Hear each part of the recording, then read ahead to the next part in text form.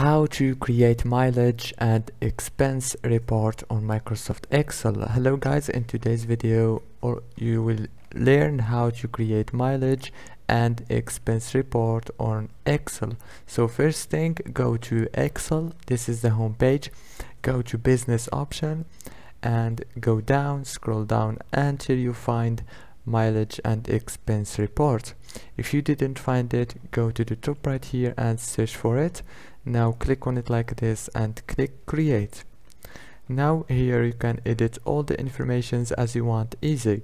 And after you finish click save here in the top corner. Easy and fast.